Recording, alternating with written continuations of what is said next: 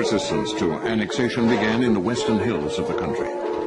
The first leader of this resistance movement was a highly respected ex-brigand, Anes Sidris Awate. At the outset, only a few belonged to the Eritrea Liberation Front, ELF. Those we have met were active members. Today, most of their companions are dead.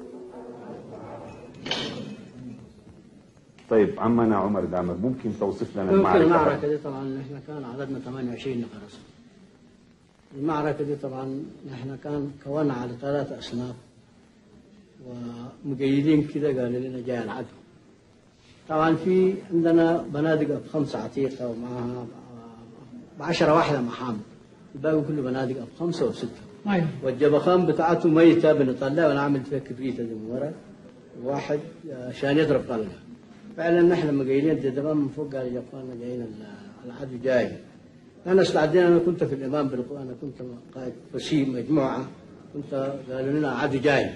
في خلاص أنا مسكنا الساتر بعدين ضربت طلقتين الطلقة الثانية سكتت في الماسورة. قبل تطلع من الياسين والله الشعب اللي قلت له اول مرة 61 و 62 كان في الكوف من 63 أنتم في جانب السعودي بأكل مواصلات مقابرات كان معانا وحتى كان توعية شديدة. نحن بالليل نوعي الشعب وقلنا أنا أطلع الجبال. كان ما عندنا سلاح فالشعب من كثرة المرور أصبح وقف وحارب الحكومة.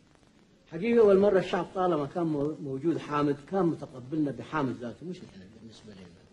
الشعب لأنه كانوا بيؤمنوا بحامد. يعني ما في شاب كان يدير يعني. مرة ذاته لما حصل مشاكل كده يعني شدة ما كان يقول نحن ما طلعنا دلوقتي عشان ننهب ونسور رقاب زي زمان قالوا نحن طلعنا من أجل إريتريا إذا كان الناس ما موافقين بالناس العسكريين اللي جونا ده أرض السلاح قالوا وطردهم بعض الناس كده.